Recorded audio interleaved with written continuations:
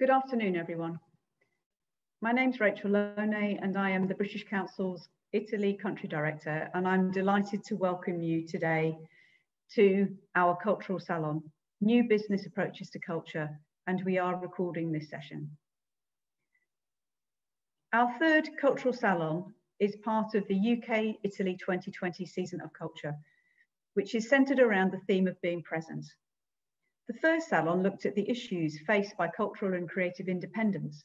The second focused on audience and citizen trends through the lens of city and festival leaders. So I'm delighted to be introducing this third urgent conversation. With the COVID-19 pandemic continuing to demonstrate in both our countries the importance of culture to the well-being of our societies and the continuing struggle for survival that the sector is facing. As we navigate these difficult times, our mission is to keep supporting the cultural sector to meet the grand challenges of our times with a focus on resilience. These digital culture salons are in and of themselves an important case study of how the British Council is responding to the undiminished appetite for international cultural relations in times of lockdown and limited mobility. This cultural salon has been sculpted by our chair, Federica Olivares, a dear friend of the British Council in Italy and a committed champion for our Italy season. Federica has many titles and wears many hats, and I have chosen some by way of introduction. She is a publisher and for many years has been the publisher and partner for great exhibits of the major museums in New York, the Metropolitan, the MoMA, and Guggenheim Museum.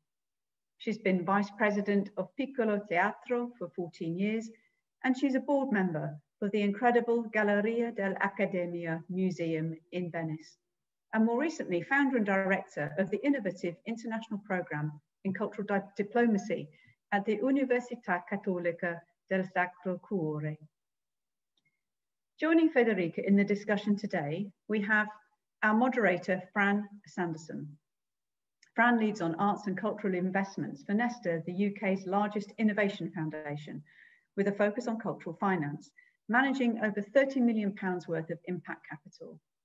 Before joining Nesta, Fran worked at JP Morgan as fund manager. Then Christian Greco.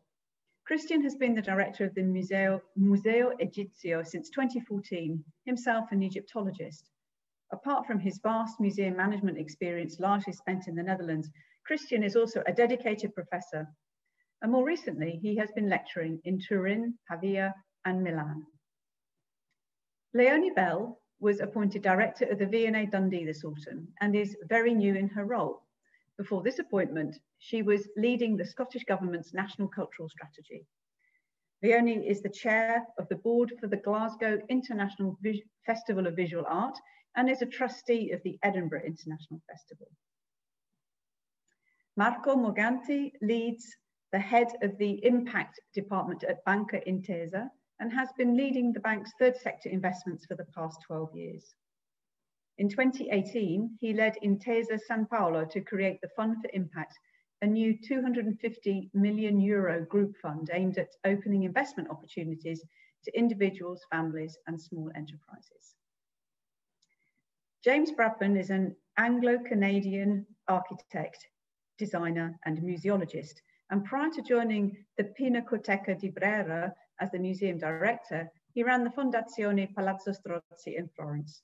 He is also one of the founders of Circle Squared, an American nonprofit foundation dedicated to educational innovation as a means of transforming museum management.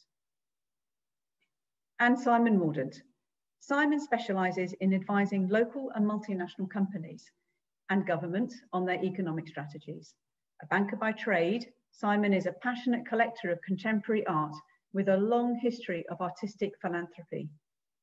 Simon has many titles, and to choose but a couple, he is the vice chair of MoMA PS1 in New York and a member of the executive committee of the Tate International Council in London. In 2020, Simon was knighted in Italy and awarded the Order of the Star of Italy, Cavaliere dell'Ordine della Stella d'Italia. So without further ado, thank you, Federica, for sculpting this salon, and to all of you for coming. Buona conversazione And over to you, Federica. Welcome to you all, virtually from Venice, as you can see from the magnificent painting from Veronese behind me, from the Museo delle Gallerie dell'Accademia. I'd like to thank the British Council in Italy for providing such a great opportunity as the UK Italy Season of Culture 2020. In these days, I'm reminded of Homer's Odyssey. We are all at the same time, Ulysses and Penelope's, working at Penelope's canvas, doing and undoing contingency plans, especially now after the new lockdown, which again muted our museums, theaters, and cinemas. Given the general situation, how timely is now our salon on new business approaches to culture? All through these months, indeed, in most European countries, citizens uh, have sensed the governments, media, and public opinion did not fully understand the relevance of culture for the resilience, well-being, innovation, and mental health of our societies. How crucial it is now to give priority to the cultural sector also for the future of our young ones who in, in, the last 10 years have flocked in enormous numbers into university courses on culture in our countries. What a stupendous human capital to care for. I'm convinced, and I'm not alone, that until culture sits in emergency plans at the same table as health and education, culture is at risk we absolutely need to build a new narrative for this culture emergency. But how can we make governments and individuals understand what is at risk now by not uh, making culture a priority? This is the question we started from in our panel. Today, we are called to be bold, disruptive, and innovative. The UK Italy season of culture brings indeed together the two essential ingredients for a solid canvas on which to build solutions, and that is the British pragmatic approach and the Italian overarching approach, the best of two worlds. This alone starts from a premise and three fundamental questions, which our panelists will answer with their enormous experience and passionate dedication to culture. I deeply thank each one of them for the time, sincere commitment, and desire to help that they have given in preparation of this panel. Being very much into theater, I thought of this salon as putting on stage the crucial roles which can contribute to these answers the key actors, le parti in commedia, as we say in Italian, are the museum directors, uh, the banker and the donor, the policymaker, and the strategist. As for the strategist, we are very lucky indeed to have with us Francesca Sanderson, Director Arts Program and Investments at Nesta, UK's largest innovation foundation. Prior to this, at JP Morgan, Francesca managed an ethical equities fund for eight years. I now gladly give to Francesca the floor also to introduce our great panelists. Enjoy organizations really need in order to innovate out of this crisis that we're sitting in? How can we make the cultural infrastructure fit to handle the big repeated challenges of where we are today?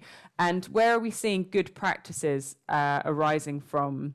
So I, I, thought I might jump in first. One of the things we're working on at Nesta is um, a large grant program which was is funded by the UK government, which is around um, trying to imagine the audiences of the future. We're working with the Royal Shakespeare Company on the performance demonstrator. And so many questions have, have come from that. That's actually an initiative that existed pre COVID. But now, what's really pressing for us is how on earth do we take that extraordinary privilege of a government grant to create um, new technologies, new models, new platforms for sharing um, culture, for developing access, uh, for enabling diversity in production. How do we balance that with the commercial sensitivity of basically a business model? Um, so I wondered, Christian, could you answer that one first for me about, about new business models and disruptive innovation? Yes, well, thank you for your introduction. And uh, well, let's start by saying that the business model of uh, our museum, the Museo Egizio, is dead. And I think it's dead not only for uh, the temporary pandemic crisis, but I think for the long term. We are a museum which was completely self-sustained. Uh, we reached a great success because we had more than 1 million visitors per year, becoming the sixth most visited museum in Italy. And this has allowed in the past few years to do a lot of projects.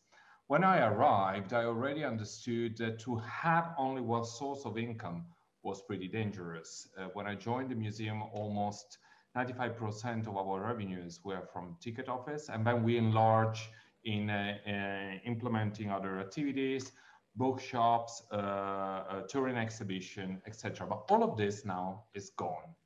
So how can we redesign a model well, I think that in being disruptive, we can also be traditionalist.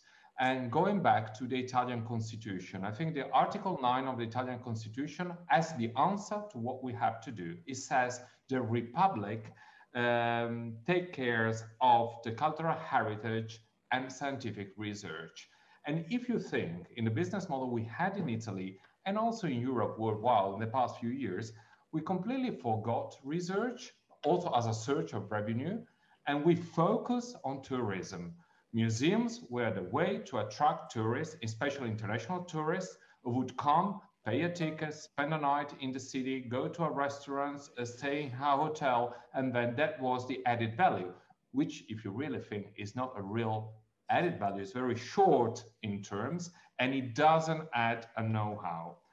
Well, I do think that since museum are uh, essential in our society, even if the way we know museum are quite uh, modern and contemporary, um, we have to give again the museum the role that they have. They're central in the cultural life of a society. They are central in education of a society. They can be labs of innovation.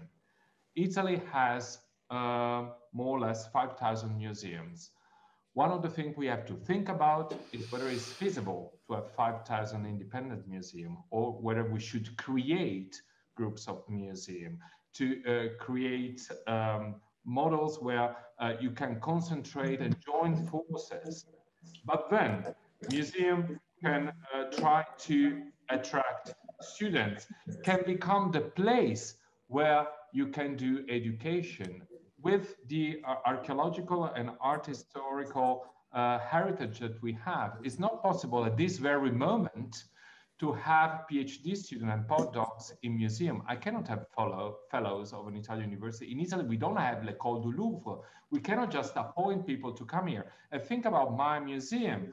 Uh, I have hundreds of requests every year from Egypt for students that ask to come here and be trained as museologists. If you think at all near wrist, how much museums and identity is central in their cultural policy and they need to be trained and we are not using the possibility for us people to come here.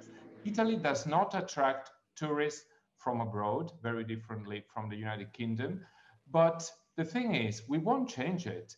Uh, a student from Sweden will probably will not come and do his PhD in Egyptology or in history at University of Turin, but he would do it at the Museo Egizio, like he would do it at Uffizi, he would do it in Brera, he would do it in uh, Pompeii. So put it central and then define new lines of research because museum was always seen as a place of uh, conservation, but we can be disruptive and innovative at the same time.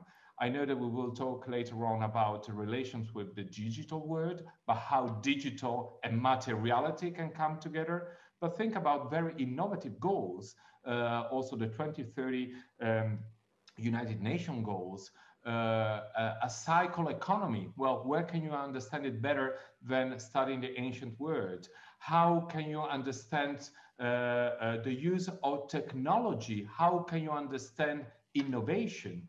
Uh, the uh, history of mankind is a history of failure and innovation. So, how we could train our museums, not only specialists, but we could train engineers, we can train uh, um, social scientists, we can train philosophers. I mean, think out of the box and see the material culture for what it is. And if we go back to the very moment where museums started having the role that they're having at the foundation of the Ashmolean, the British Museum, but especially 1793, La Grande Galerie du Louvre that opens, it was a place of physical material culture to educate citizens. That what was a museum was in the new values of the French Revolution. So now we have the chance to put a museum at the center again, but not just a place for leisure, not just a place where tourists can go for one hour because they spend 100 euros at a restaurant and we think that that is the economic model.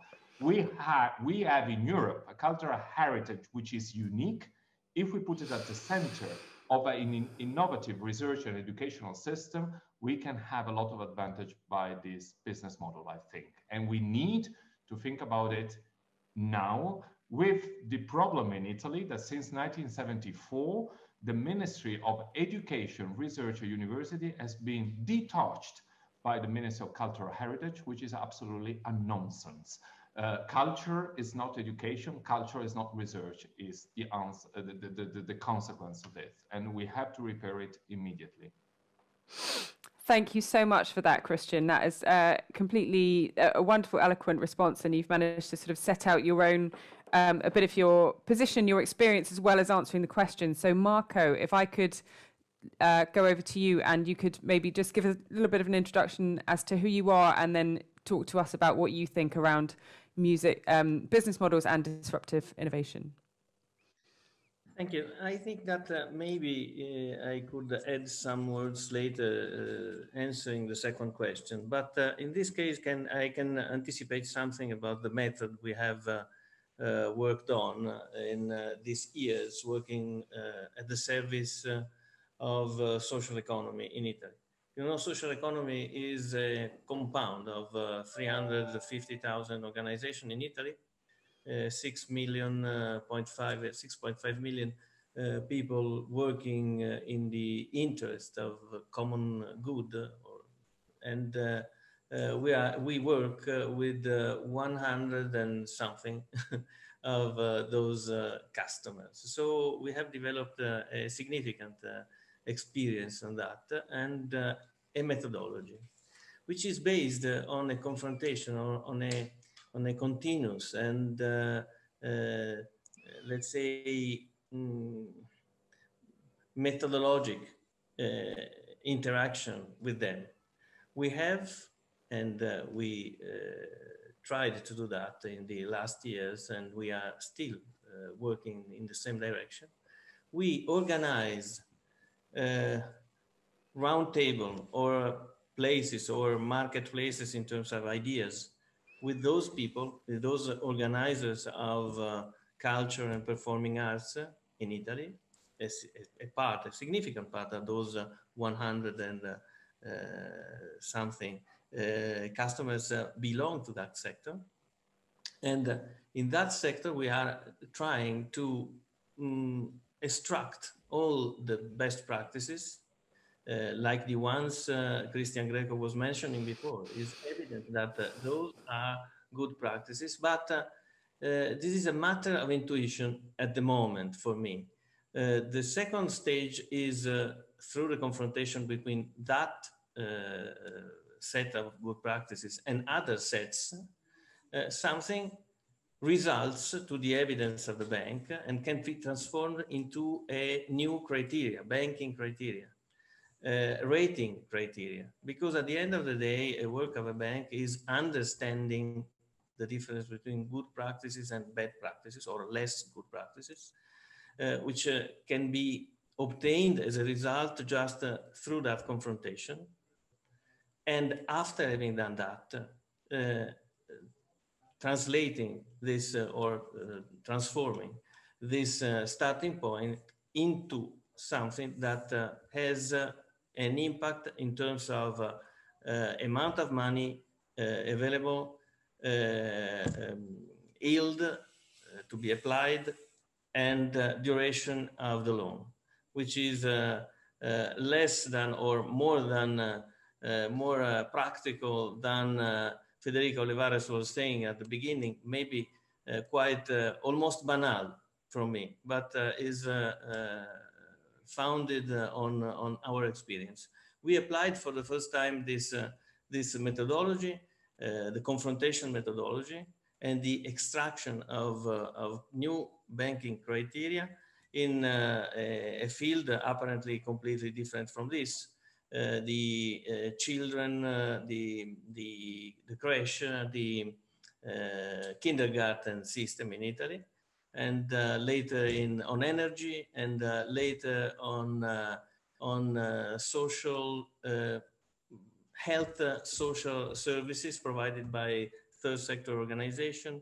And uh, in all those experiences, the common ground was that, uh, the, the common element was that the bank doesn't have any technical idea about sustainability until a serious, continuous, structured confrontation with the uh, people acting those activities, culture like, uh, like uh, children's services, have, but maybe they have to confront their, their opinions in order to create something which is common. What is common is more sustainable. What is more sustainable is more bankable. This is my uh, assumption. Thank you. That's so interesting, Marco. And a lot of that I think we'll pick up on later in the discussion um, certainly resonates with a lot of my experience in the UK and the sort of financial architecture that we're trying to build.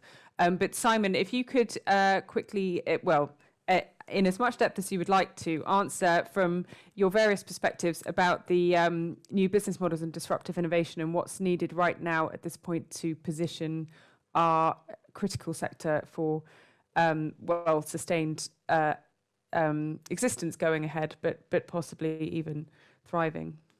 Yeah, thank you, Fran. Um, just by way of background, I sit on 13 art boards around the world.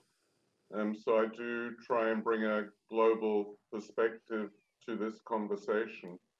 Um, most important for me is I think as a sector, we need to cooperate rather than compete. Um, we have a long history of each competing for funding um, and that makes it very easy for governments to flick us away.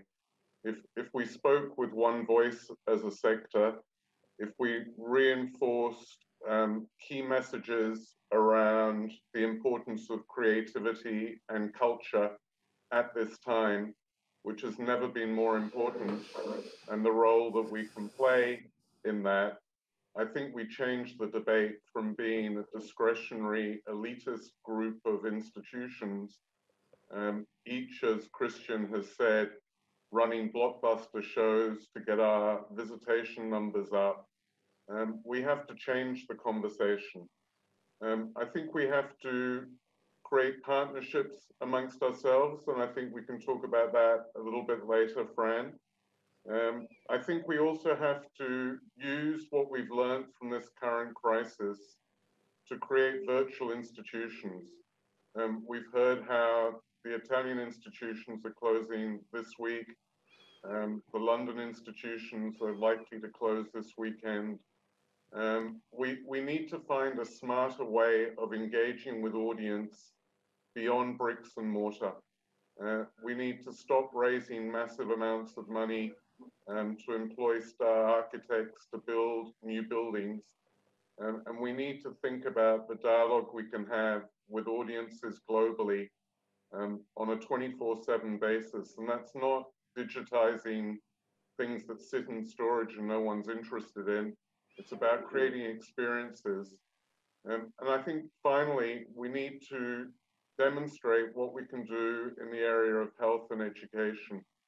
Um, our institutions have an amazing contribution to make in terms of the well-being of the community.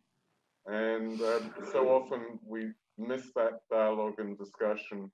And in this current crisis, I think um, the role of creativity, the role of artists um, is really central to the debate. And I, I look forward to this conversation greatly. Thank you so much, Simon. Um, James, did you have some thought? Do you want to give a quick introduction of who you are and, and tell us your thoughts on disruptive innovation and new business models?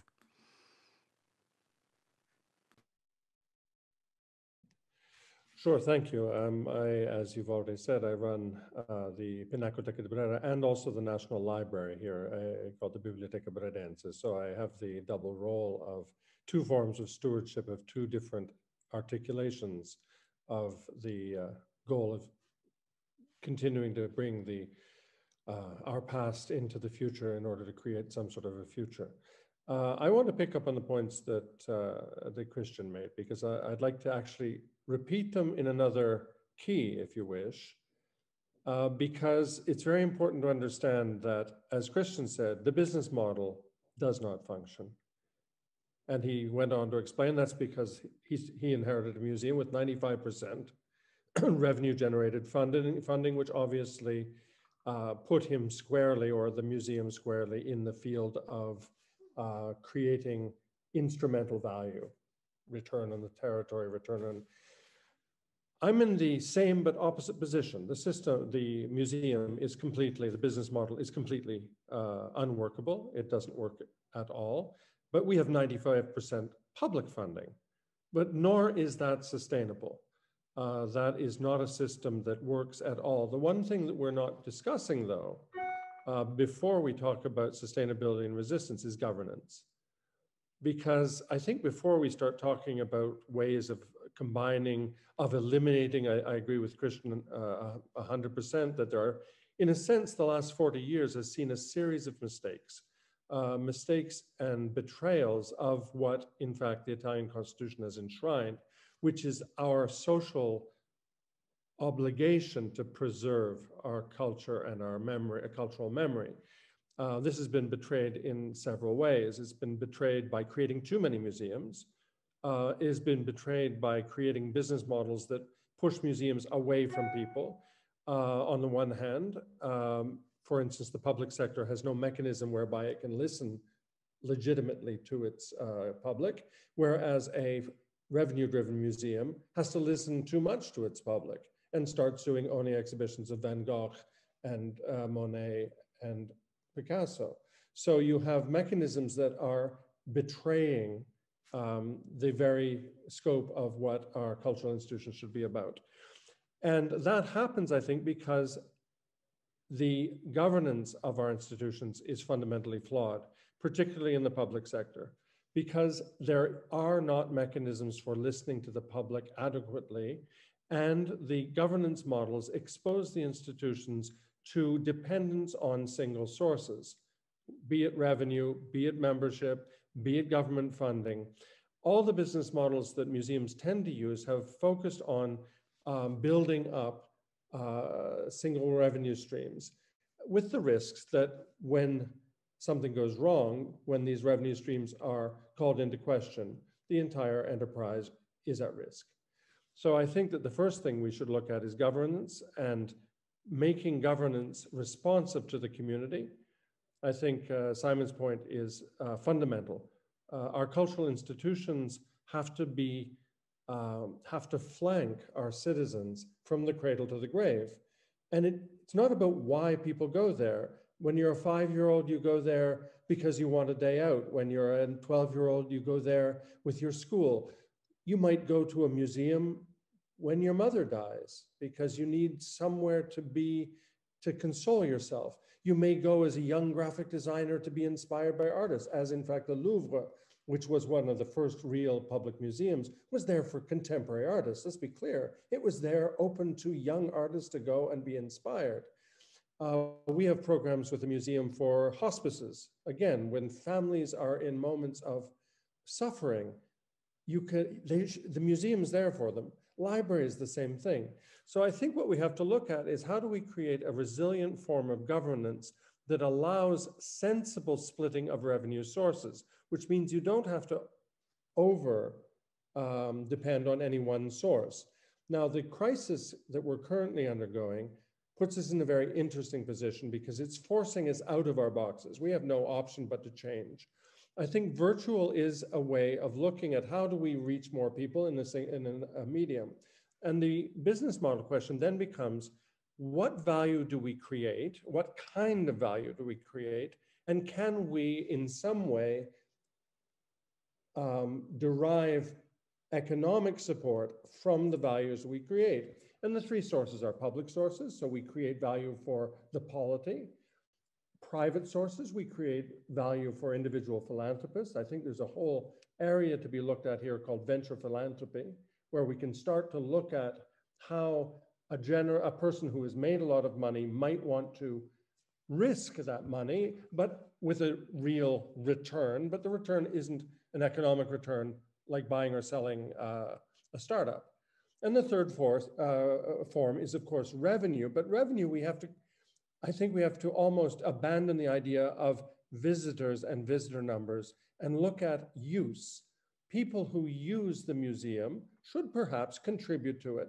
But those users are students, are companies that use our expertise. Uh, we have a, we just uh, have a new uh, relationship. We're just setting up a new center for the study of uh, the culture of childhood. And we already have two PhD um, candidates who are using the center to do their PhDs.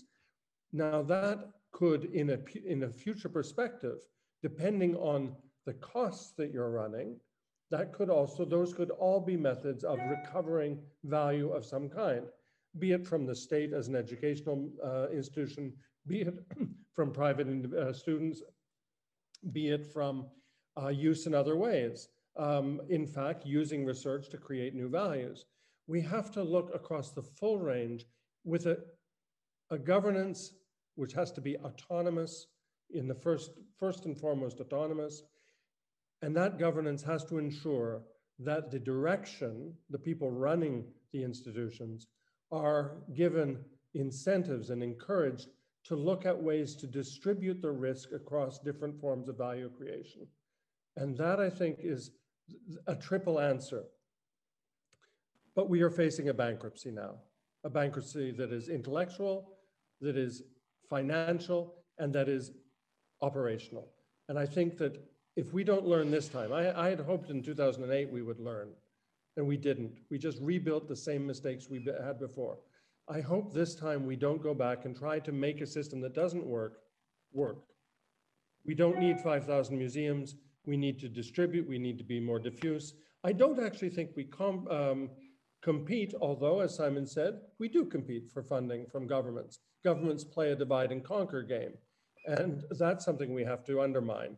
I think mm. on terms of revenue, uh, in uh, earned revenue, we compete far less than we think, because unless you only have one day, which is exactly what has died now as mass tourism, then actually a person, your competition is with going to a library or museum or not going because nobody goes to the same museum every weekend. In fact, what we've learned from experience is that the competition is to create someone who likes going to museums. If they like one place, they'll go to all of them. So we never, we don't compete in that sense.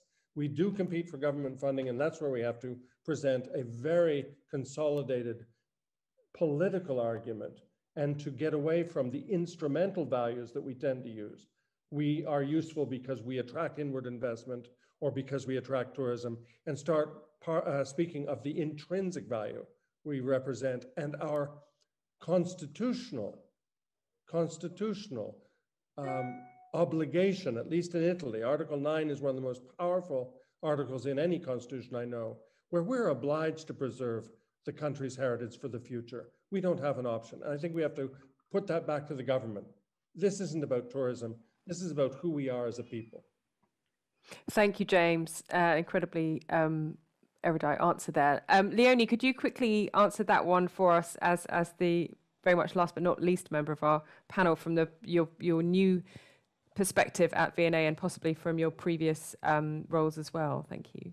Yeah, of course. Thanks, Francesca, and hello everybody. Um, and I'll try not to feel diminished by being last and following all those amazing answers. So I'll try and add, add value rather than repeat. So I'm sitting, you can see behind me, in a brand new museum, been open for two years, including a period of closure for COVID, designed by a star architect. So exactly probably what James and Simon are setting out we need no more of. And I probably inherited a cost base that the business model never worked for. So although COVID is bringing in additional challenges, I think we we were born with challenges any, anyway. I'd quite like to try and add a little bit of hope and optimism to the conversation as well and to try and find a, a way through if that's okay. But just to pick up on a couple of points, absolutely agree with Simon around cooperation and collaboration and being more comfortable with change as institutions that are heavyweight in their structures and their hierarchies, being more fleet, fleet, foot and generous in how we do that. But I think we need to also work beyond ourselves as a sector. We have to stand in solidarity and alliance with other sectors too and learn from them, whether that be climate change or social justice health, well-being, education, and of course tech, which we're all um, showing where we're weak at, but also have made huge progress. The question in itself is also interesting because COVID actually is this disruption that lots of us in policy conversations spoke about for years before. We were asking where's the disruption going to come from? And it's come at us globally at speed, at pace, with more momentum than any of us could ever have imagined. And I think good has come within that, my organisation, many, many others that I see across the world and in the UK, very quickly mobilised at a pace that none of us were demonstrating before. We moved to online working. We put programmes that still were of value online. And I think the more important thing, though, is that we've actually questioned the very essence of why we exist and who we are and who we exist for. Because I think all of us felt at the very start of lockdown, we're all in a second wave, but right at the start, when we were all working out who the key workers were, who was most important to society's functioning, me and my peers, I think, were all wrestling with our value and our validity in a world where it came down to health workers and you know delivery drivers. Where did we fit in? What could we do? And I think that scrutiny that we put upon ourselves has been a really, really healthy thing. The negative side is that it, the, the virus and the lockdown has exposed the inequality, the structural problems, the fact that we were running out of time with the structures and systems we had anyway, and that we still spoke to a privileged past. Um, and that we weren't comfortable with change and letting go of what we'd gained in our own power as organisations and sometimes as individuals. So this is awful. It's awful what we're all going through, and you know, heart goes out to everybody who's having to close to close tomorrow. But we have actually progressed at a speed that I don't think any of us had ever done before. But just picking up on your point around policy, Francesca, which I have spent a lot of time also working in in, a, in the, the Scottish context. And I think for the first time in my life, what I observe is we're working out with policy. There is no policy construct around this. Really enormous funding decisions um, and decisions on our on our lives are being made every day, but there is no policy framework. We are in crisis mode month after month after month, and I think we as a sector can try and be pioneering in that. I think we can be both the question and the answer we have to somehow together across sector, across community move from perennial crisis mode to actually try and find our way out of this and have those policies that, as James and others were saying, will actually take us to a different place, a better place. So I've never known, I've never worked so out with policy in my in my life. There's principles there, but I think we're doing that around around the world. And then in terms of advocacy, absolutely agree with what others have said. But I suppose what I feel now, being 27 years in the culture business, is I've advocated all my life. I think I've been quite a powerful advocate at times, but I realise now I'm speaking to the same people again and again and again. Who are we going to talk to? Who are we going to advocate to? And who's going to be our advocates? I'm not sure we should be the only advocates of our worth. So it's back to that community, it's back to the neighbourhoods that our organisations are hosted in. We have to radically rethink their role from governance levels right down to their role as audiences that shape who we are, shape our collections, shape our approach to everything. So we need to be much more dynamic, much more comfortable with change rather than fearing it. Um, and then maybe just to finish, there's something about leadership that I think we've maybe not all had the opportunity to touch on, but we're all evidencing it. It might be my esteemed panel all come across as really, really compelling leaders from very, you know, different sectors as well. But maybe I'm reflecting on last night's world events as well, but I think how we how we hold ourselves as leaders with experience and with the privilege that we all sit on this screen with, we have a responsibility to understand the problems, to not undermine them, but also to bring optimism and hope to the conversation and to try and find that that way through together. And I think the tone and the values that we role model, but also communicate in everything we do is more important now than I think it has ever been. Um, and as you said, Francesca, I, am lucky enough to be on two boards of organisations in Scotland, both who have had to uh, cancel uh, this year, and we'll see what next year brings. But I was thinking about the Edinburgh International Festival. You'll all be familiar with it, one of the world's finest performing arts festivals. And I think it's good to maybe end with remembering why it was set up in 1946 after the Second World War and the turmoil that Europe and the other parts of the world found themselves in. It was established because then, as a, as a set of nations, we believed that culture could bring us together, that it could bring and make good difference and harm and fear and you know really really really devastating stuff that had happened for years not only to our places but to our people. The, the edinburgh international festival rose as this phoenix of hope and it was culture and creativity that did that. I'm not comparing covid to a war by any stretch of the imagination but i feel we're on the brink of a new era. And if that new era can be defined by us as a sector being pioneering progressive socially just and pioneers of change, then I think the good that all the other panelists have set out will come. Thanks, Leonie. That's really inspiring. Um, I'm, I'm, panicking slightly about time, but I, I, think we'll talk briefly about financial architecture, or, or, less glamorously, as I sometimes think of it, financial plumbing, and how does the money come together? Um, something I'm passionate about, and this really sort of jibes with how we're talking about partnership and collaboration is is using is, is seeing financial investment as a tool as a constructive tool rather than a distributive tool so seeing a financial investment not as a zero sum game not as a pure transaction but as something that can build together and align people um, who are naturally wanting the same thing and entrench that in a financial transaction. Uh, the fund that we run is an example of that. It's a partnership where we have structured investors and they're all investing in organizations. We're very careful from the beginning to make sure that rather than talking to investors and saying this is the kind of return we can create for you and then um, pushing from that to get to the cost we were going to have to lend out to the organizations at, that we aligned our investors together to say, look, this is where we can create a market for capital in um, arts and cultural organizations. And therefore, this is what we will be able to provide for you as a financial return for investors. So I do think that there's really interesting stuff we can do around financial structuring in the system at the system level and at the organizational level but i realize i've come to that very much from my personal perspective. Um, if you guys could speak quite quickly on uh, each of you on your perspectives and, and we've got really interesting um, dispersion of pers- perspectives on this one i think. So marco if you could quickly tell me how you um, feel about about the financial architecture and how money should be funneled towards cultural organizations that would be great. Thank you thank you uh, first of all, I have to apologize and uh, to beg the pardon of all the the uh, of all the panelists because uh, I systematically used uh, in my previous intervention uh, confrontation instead of dialogue, and this is on one hand a, a big mistake, but there is something belonging to the experience. This dialogue can be very, very, let's say energetic because uh, or energic energetic because uh, because sometimes the points of view of a bank are dramatically different from the ones of people acting on the field. And uh, the reason why we work uh, through this methodology is exactly that. We want to reduce this distance.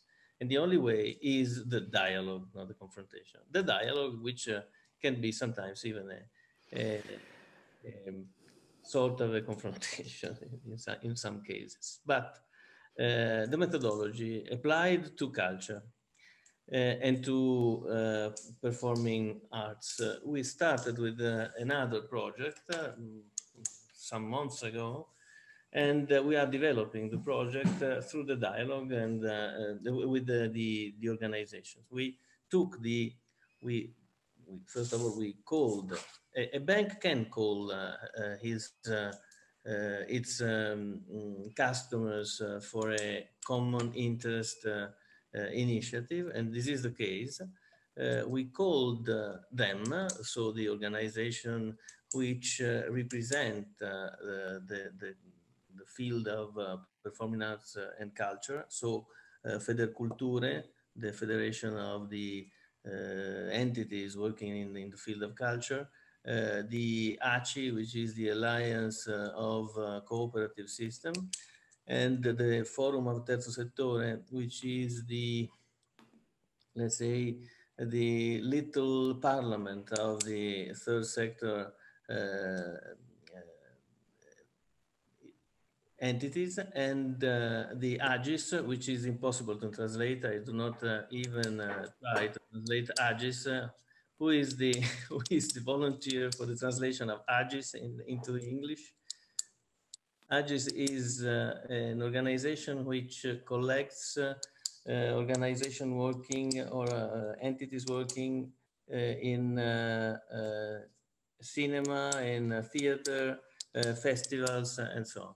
So we put together all these uh, components uh, in, a, in a table, in a platform, uh, which is based on the uh, uh, dialogue and uh, on, the, on the extraction of the best practices, the sharing of those pra good practices and the transformation of those good practices into models. Those models can be let's say, uh, priced through uh, um, a, a, more fitting, more fitting um, banking criteria, more fitting rating system, and at the end of the day, through a, a better access to to the to the financial financial uh, sources uh, of a bank which, which are evidently uh, lending based, uh, not, uh, not based on, on charity. Thank you. I think I was. I was... Uh, just just a moment to to end okay. on, this subject. Uh, the the discipline of uh, let's say the discipline of sources is another important topic because uh, of the fact that we have to combine different sources uh, in order to make them more effective. For example, the capability of uh, making grants can be, in my opinion at least, uh, widened through the combination with uh, lending. So some donor can be a, uh, the can transform its donation into a guarantee fund, calling the bank to make uh, to to work uh, uh, following its uh, mission, which is giving credit and accepting risk. But any confusion can be a, a, redu a reduction of the complex the complex um, effectiveness of the of the efforts we can do in order to finance uh, the uh, third sector initiative in uh, in this in this field. The the last thing I would like to introduce is another consideration. I think that during the the hardest moment of the crisis, this situation of extreme uh, emergency creates uh, the condition to not distinguish good practices and bad practices. So in this moment, we have we are just acting, uh, trying to save the organization uh, without any consideration for the uh, for the sus normal sustainability, and even less of the um, sustainability after the, the the crisis, after the emergency. So emergency is a in a certain sense, is even a, an enemy of the uh, fitting evaluation of sustainability. Because in this moment, all the things are similar. All the institutions have to be, all people working in any way uh, have to be have to be sustained and uh, and rescued. Uh, in the future, we have to base our initiative on the sustainability, and this is the reason why we work this way. Thanks very much, Marco. Um, yeah, and I think that there's there are really key questions around transparency and accountability there, and I think your suggestion earlier about um, marrying the ability that bankers have and that hone in order to become bankers uh, to distinguish between good practice and bad practice and how we embody that with Simon's um, thesis of cooperation and make sure that that good practice is shared cooperatively rather than held competitively. Simon, did you have any thoughts on uh, financial architecture? Yeah, I'll just make a few very quick comments because I'm conscious of time. Um, firstly, I think we mustn't forget that we exist for artists and creative talent. And, and that has to be core to everything we think about. Um, secondly, I'm a great believer in leverage. And I think leverage doesn't mean borrowing, although it can be. Um, by leverage, I mean starting with your own governance structure um, and raising money around your board table and then going to government and foundations, but not starting with government and foundations. You've got to show your own commitment. So I've just raised a $5 million um, transition fund at MoMA PS1 um, to enable us to re-engage with the community when restrictions are lifted. I'm hopeful that that $5 million will be matched by a foundation, um, but the $5 million has been raised largely around the board table. And that was my experience when I raised $53 million for the redevelopment of the museum in Sydney and when we built the new pavilion in Venice. But you, you have to start with your own governance structure and getting commitments from them. Um, so I, I, think uh, Marco made some very valid points around financial instruments, but um, my advice is a little bit more practical. Okay. Um, Leonie, did you have any thoughts about that from the museum perspective in terms of financial architecture? Yeah, of course. Um, museum and maybe slightly broader. I'll be I'll be speedy as well. I think the question, I suppose, what concerns me about it is not just where the money will come from, but where it goes. I think that's possibly what Simon's alluding to. So I think what we have exposed to us as the most vulnerable within our sector, being artists, freelancers, small to medium enterprises. So I think we have to think about our our own financial reach as bigger organisations and being generous within within that. So there's there's something to think through there too. I suppose we worry, I worry um, that the, the burden is most keenly felt of the current situation and loss of work um, unequally um, with, with some and largely that is often the most creative individuals as well. Um, I would add audiences into that as well. Some audiences are okay at uh, receiving things digitally, others, again, it's there's other inequality. Um, picking up with Simon's point, absolutely agree, but I think maybe not just at organisation level, I also think there is something in terms of leverage at national level that certainly in the UK we've never been brilliant at. There's pockets of brilliance in it. We've just set up something called the Dundee Cultural Recovery Fund, which is being led from the city's business leaders where they have put a certain amount of money together and then we're looking at match funding that. So half a million was put in by one um, trust associated with a with a business based in the city, and that's looking like it'll be matched pretty quickly. And that's just not for not for us as V&A Dundee. That's being shared across five organisations in the city. So we're also working cooperatively because we know that our aggregated value is critical. Not any one of us make a difference alone. So it's back to that cooperation point that is key, but I also think there's other things. There's other things in terms of welfare, and there's lots of conversation around universal basic income and what value through big policy moves like like welfare offers can we actually make the creative sector along with other sectors feel more more more valued um, so there's something probably quite major in terms of what we can maybe think through and learn from each other is how do we ultimately share the responsibility for supporting culture beyond the public sector and the traditional bits of the public sector as well.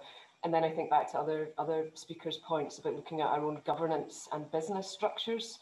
Um, I think there's other things that we can do in terms of sharing our assets with our own with our, our own teams and communities in terms of there's a couple of acts we've got here in Scotland around community empowerment, but also things like um, employee-owned organisations. I think it's time for us to look at what other sectors are doing as well and learn from them.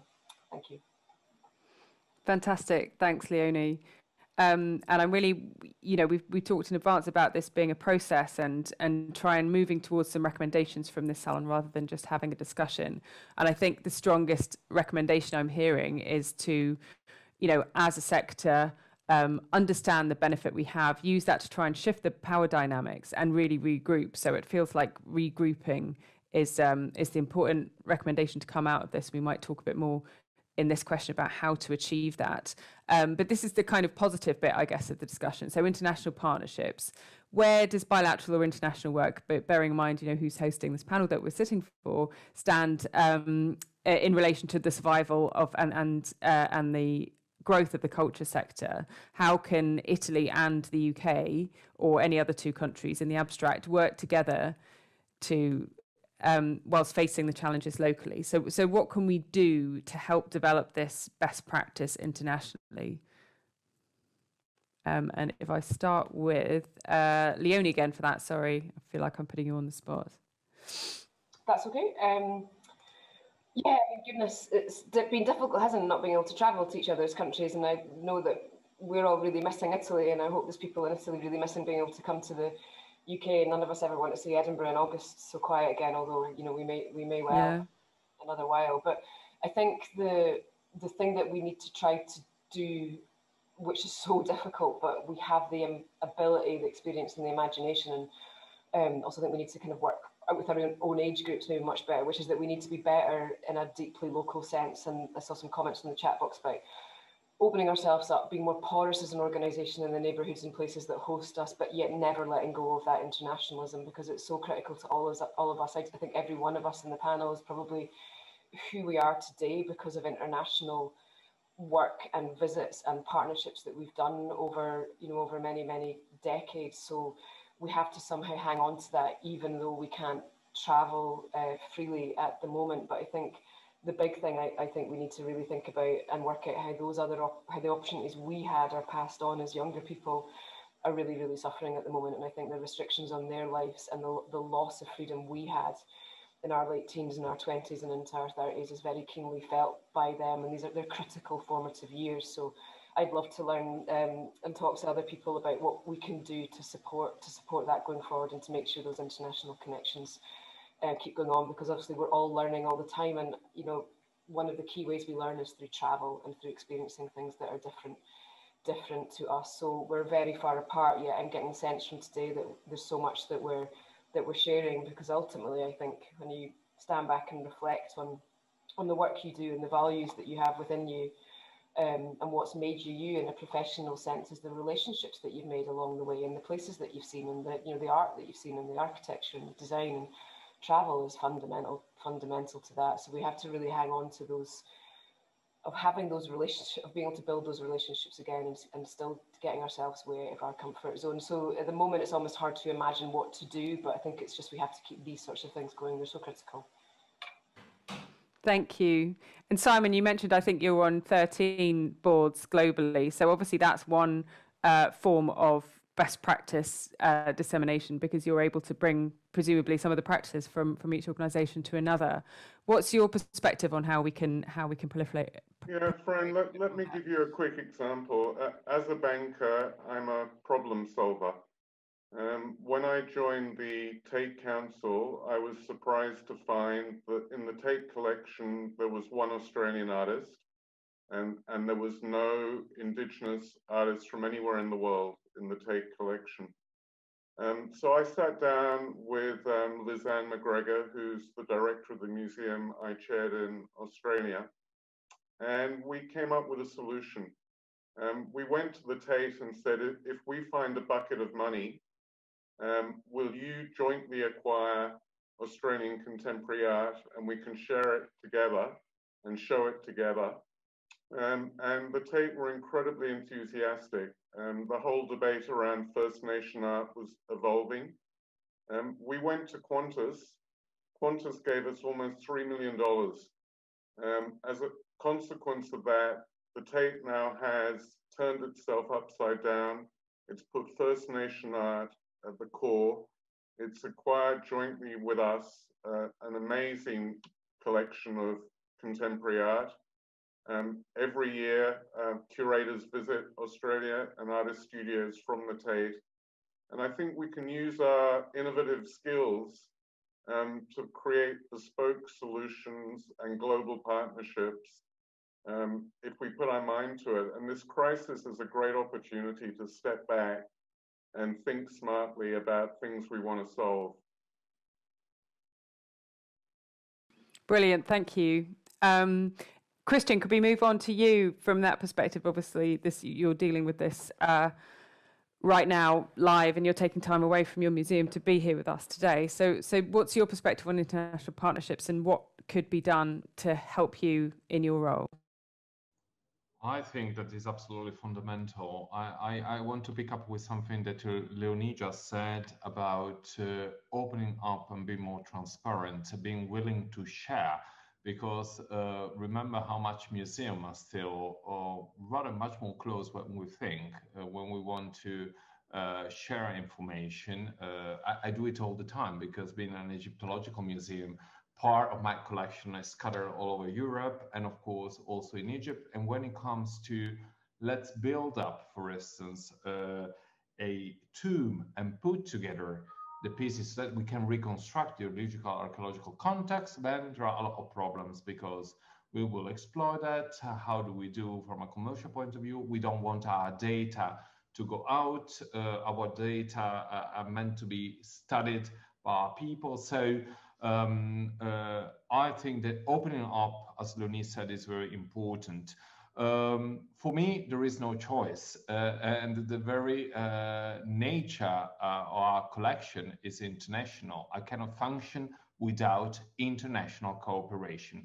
I just want to mention something very short. We've just been awarded uh, a prize from um, Europa Nostra on uh, international cooperation. Uh, and, and, I think this, for me, this is the point of what I hope one day would become the impossible Egyptian museum, putting collection together. We have in this museum 17,000 fragments of unpublished papyri.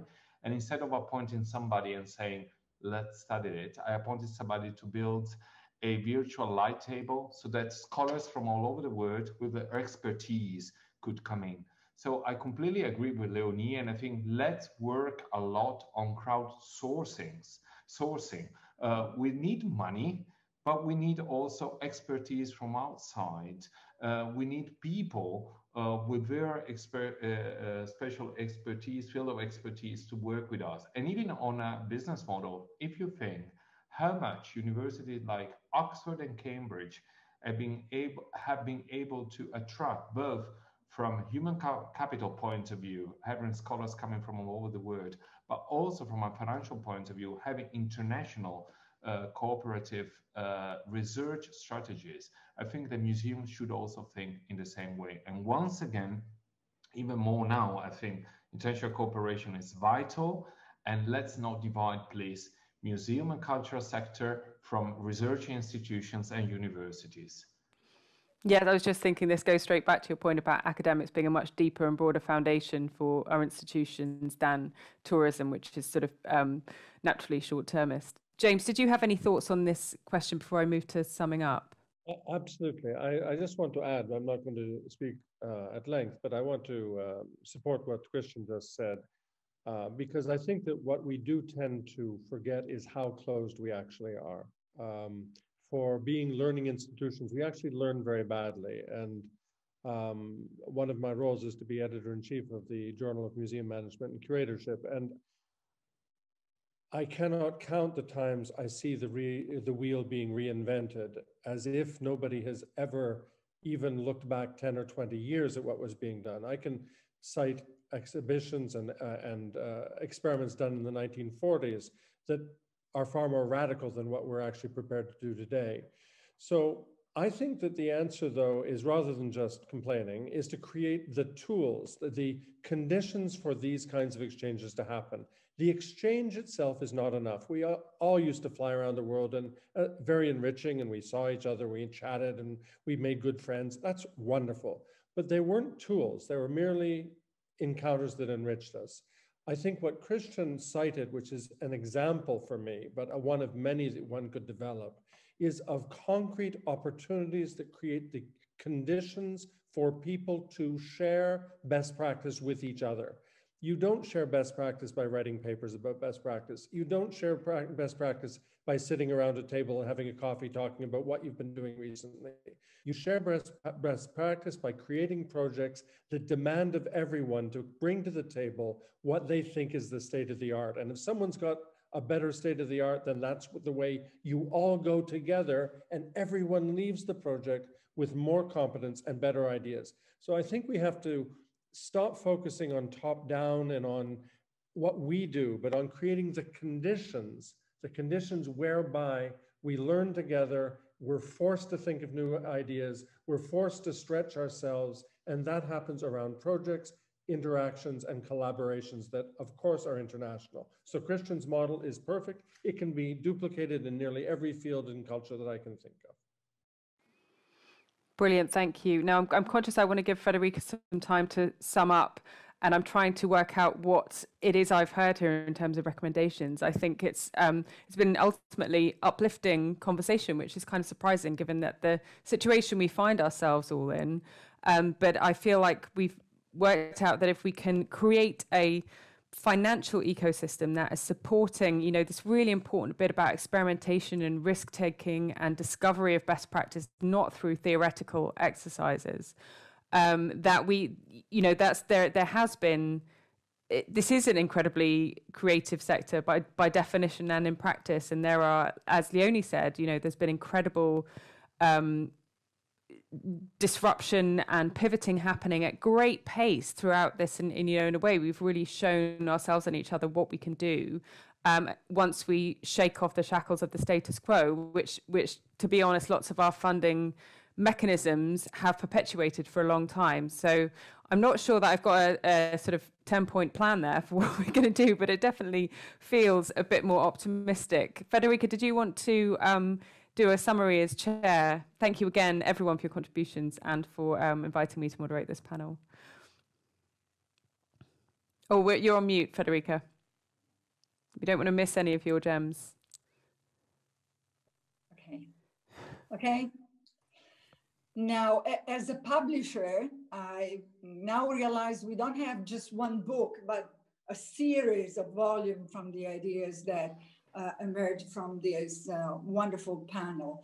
We just started the conversation as uh, with Jane Costello, we always said that uh, our salon is not an event, but it's a process. So first, let me uh, first thank you, our mute uh, but not so much mute. I'm seeing many, you know, requests and ideas coming from other from our audience.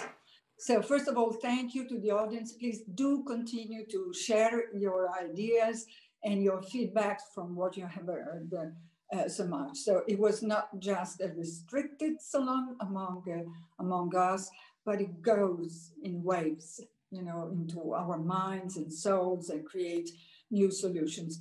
Just two points uh, among the many and the richness. Of course, probably today a new network is being born uh, among the actors in the play that we have set up in this salon. But, but two stand out very vividly to me at the moment. On one side, as you, Fran, said, the power dynamics. On, on, on that side, uh, do we, we have to remember that in January, uh, both UK and Italy are taking up the presidency of respectively G7 and G20. So we have another place, an agora, a very broad agora in which mm, to make our voice be heard in unison together.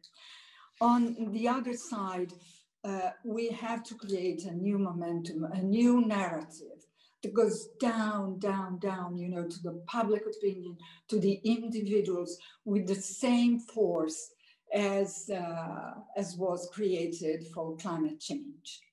And probably we need a, a new narrative, probably a new Greta, or probably more of what we have heard today, uh, passion, commitment, and uh, great competence and a great love for sharing and for the roles of our cultural institutions.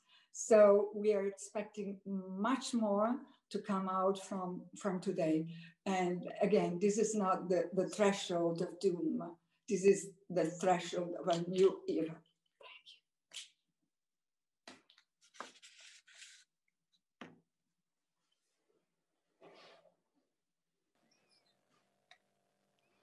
Great, thank you very much. I, I, I, don't know if Caroline wanted to say something to close the event.